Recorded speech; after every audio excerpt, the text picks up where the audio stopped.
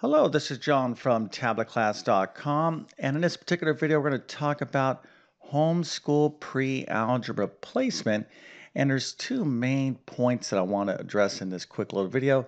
The first is how do you know your child is actually ready uh, or has the right math skills in order to start pre-algebra? So we're going to talk about that and we're also going to talk about do they have um, kind of the right academic habits? Have they uh, matured enough, if you will, uh, to handle pre-algebra? As this is definitely a uh, more advanced math course than what they would be doing or what they have done in middle school mathematics. So we're going to be talking about this in just one second. Also, if you need help with actual homeschooling, you can check out my full homeschool math courses at tabletclass.com. I focus on middle and high school mathematics. Matter of fact, I have a great pre-algebra course and an actual placement test. You can find that uh, again at tabletclass.com. And if this video helps you out, don't forget to like and subscribe as that definitely helps me out. Okay, so let's go ahead and get into this. And this is just going to be a quick general video. I'm not going to um, hit every single little math skill that your child needs to know. I'm going to kind of focus in on the big stuff. So uh, let's kind of get into it. See, these are the math skills that your child will uh, kind of want to have mastered uh, by the time they finish up middle school math and they transition into pre-algebra. Now, just on this point here, before I actually get into these skills, where does a student typically take pre-algebra? Let's kind of break it up this way. So here you have your elementary math, and then here is middle school, and here is high school. Typically, for most students, they're going to be taking pre-algebra at the eighth grade level, the end of middle school. Okay, but if your child is a little bit behind and are starting pre-algebra uh, in the ninth grade year, that's not the end of the world um, as well. So don't feel bad or don't feel like you have to pressure your child to absolutely, you know, take uh, middle school or um, pre-algebra at the eighth grade level in middle school. Okay, if they, what's more important is that they master, they get a strong foundation because if they do well in pre-algebra, that's going to set up a strong foundation for the rest of uh, the math they're going to be doing in high school. So you definitely don't want to rush this course, but at the latest, uh, they need to complete pre-algebra, generally speaking, and the ninth grade year. Okay, but again, it's uh, most common for most students to take this um, in the eighth grade year. Okay, so let's go ahead and get into these skills. And these are just the big skills that I've seen over decades of teaching mathematics, where if students are strong in these skills, uh, they have some really good momentum going into pre-algebra. If they're weak in these skills, this is going to give them a tough time. Now, all this stuff, you know, can be resolved, but if you're looking at you know, considering pre-algebra as the next course for your child, you want to just kind of verify that they have these particular skills. So let's talk about the first one. The first one is just basic number operations, all the stuff that they learned in elementary school. In other words, can they add, subtract, multiply, divide without the aid of a calculator? How are they with decimals? They, do they understand place values, right? The tenths place, the hundredths place, all this kind of elementary uh, level stuff? Can they uh, divide um, uh, numbers without the aid, again, of a calculator? Now, a calculator is important, but you have to have strong number operation skills to be successful in algebra. Okay, so if they struggled in elementary mathematics with uh, number operations, you're going to want to do some remedial work, or you know, you need to kind of be, um, you know, maybe a little bit more patient in terms of maybe your child needs one more course, uh, a little bit more review before they get into pre-algebra because they have to be strong with basic number operations. Now let's move on to the next one here, and that is the order of operations. Now, if you're not familiar with the order of operations, it's basically uh, the order we do a math problem when there is addition, subtraction, multiplication, division, powers. Uh, there's a little acronym that goes with this called PEMDAS um, if you kind of remember this from your own school days.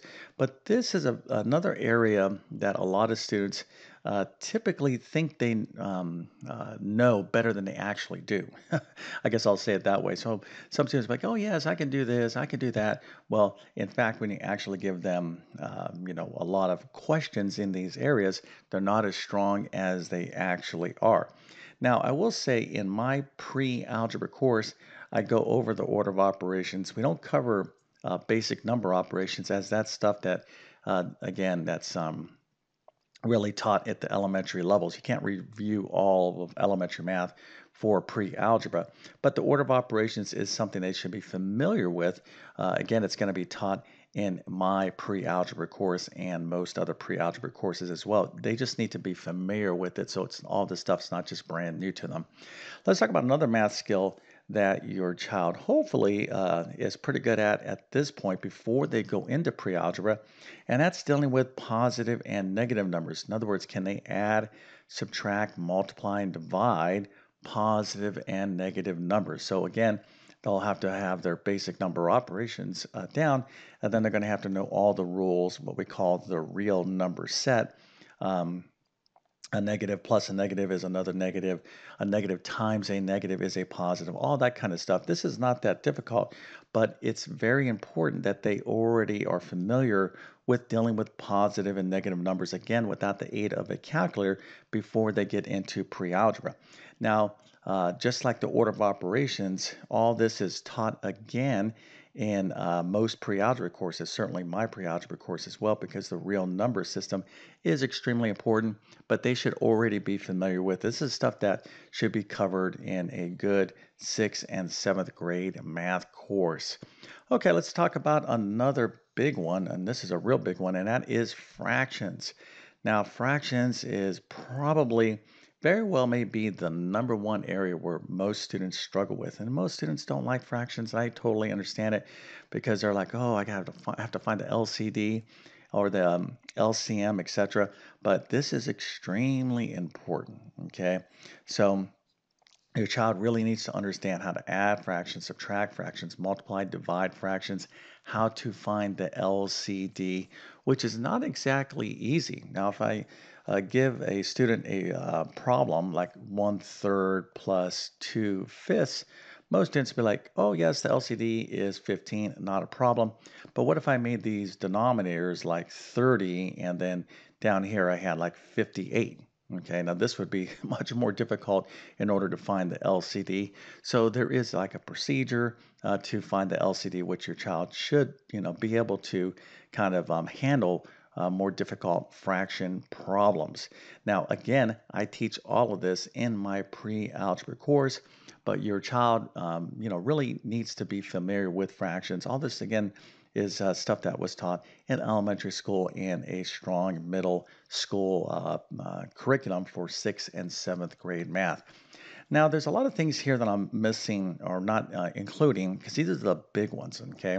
Uh, in order for your child to kind of really have the math skills to enter pre algebra, but they should be familiar with um, basic geometry concepts as well because in most pre algebra courses, certainly mine, uh, pre algebra, there is a, a, chapter on area and volume, so they should have some uh, familiarity with doing, you know, basic geometry uh, problems, etc. But these are the big ones here that if your child is strong in these areas, it's a pretty good indication that they have the math skills ready uh, so they can be ready uh, to enter into pre-algebra. Again, all this stuff is going to be reviewed with the exception of number operations. So if your child is dependent on the calculator, in other words, they always do their work with a calculator, try to encourage them to put the calculator away when um, they're doing basic uh, number operation problems. That's a good kind of way to, uh, a good um, approach to help them not forget everything they learned in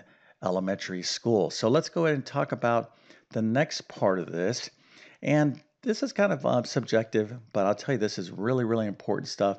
And this is academic habits that your child um, hopefully has. And believe me when I tell you, you know, teaching these courses, being young once, being a parent, I totally get it if your child is not strong in these particular areas. But here's the thing to be successful, you got to remember pre algebra is uh, at the um, end of middle school, it's beginning of high school. So your, you know, your child's going to be entering in uh, into a phase of their academic life where the courses are going to become more demanding. So they're going to have to increase their academic habits or academic skills. So I want to talk about some big ones here, and all of this counts as well. And if your child isn't strong in these particular areas, these are things you can help them work on. So let's go ahead and start right here. And that first one is neatness. Now, so many young people struggle with this.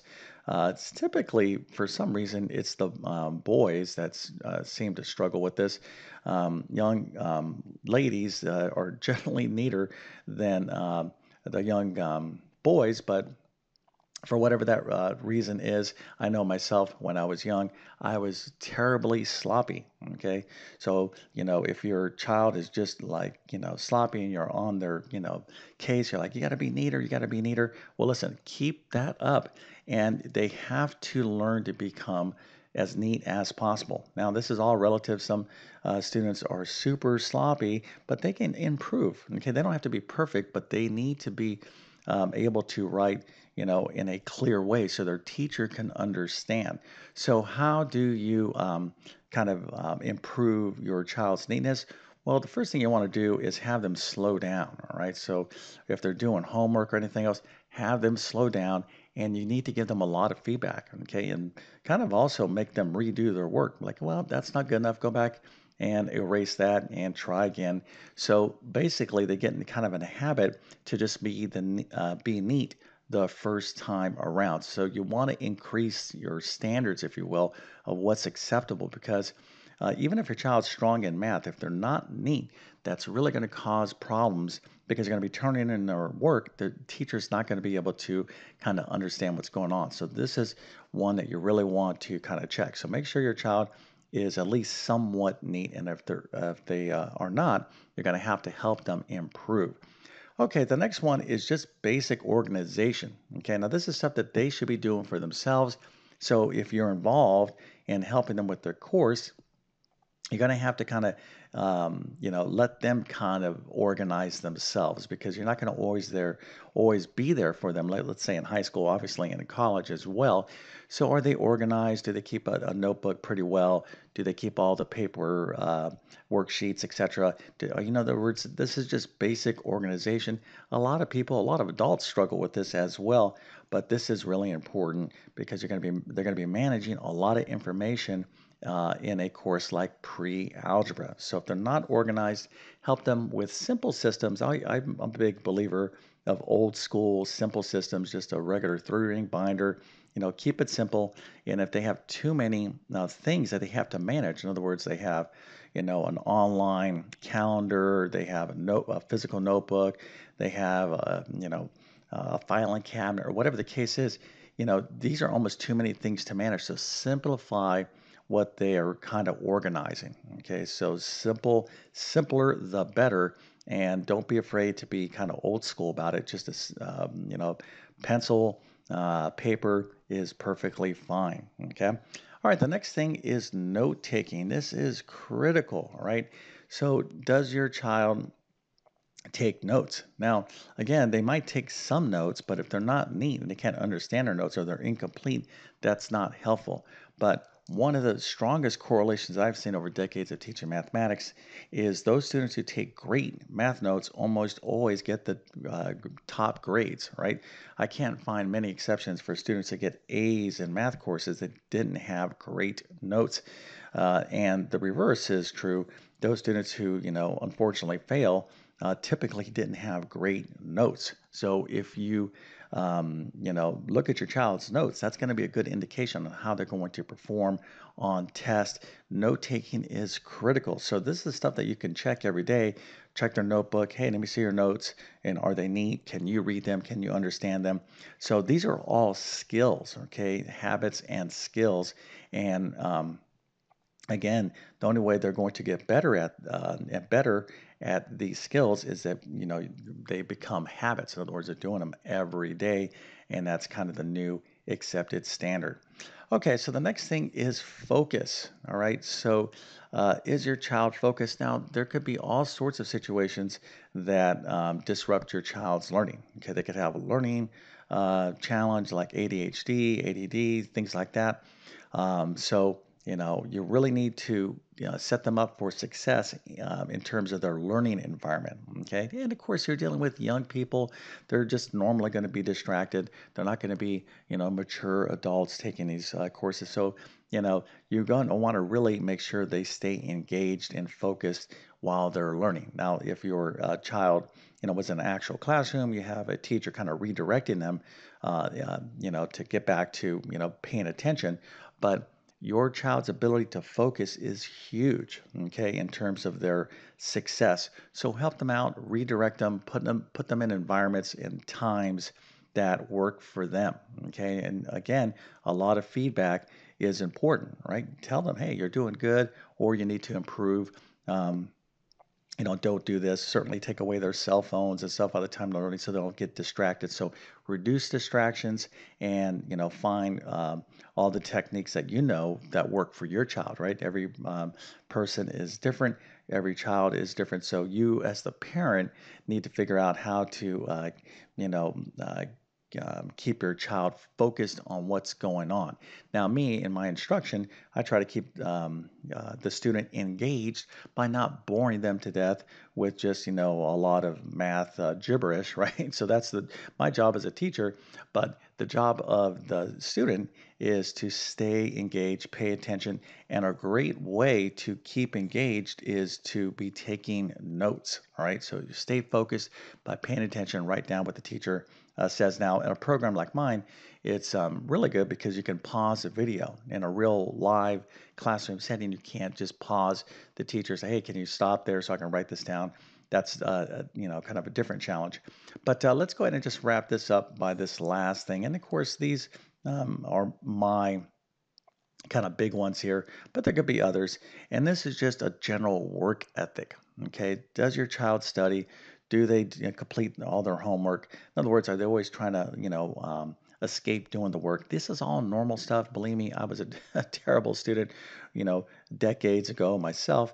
So, you, you know, your child is learning how to be a strong student. Hopefully, they already have great academic habits, but this is something that you're going to have to set the standard for. Okay, so even if they don't want to do the work, you, you have to get them to do the work. Okay, complete your homework. Don't accept excuses because if there's too many excuses, like, well, you don't have to do this or you don't have to do all of that, uh, definitely don't let your child kind of um, dictate, uh, you know, the terms of learning, right? So, like, I don't, I, you know, especially this comes like with homework, right? In my program, here's practice problems. There's, let's say, 20 different problems, and they start doing the first few problems and to get these right uh, a lot of students were like, well, you know, I'm getting these right. Why do I have to do the rest of these? Uh, you know, I'm just going to turn in my homework or I'm just going to stop and call this good enough. Well, that is a recipe for disaster in terms of mathematics because all these other pro, uh, um, uh, problems down here um, are of a different variety. They're more challenging. So this is what I'm talking about. You have to have a work ethic to complete these tasks, complete your homework, study for test, put in the time. And all of these are critical, okay?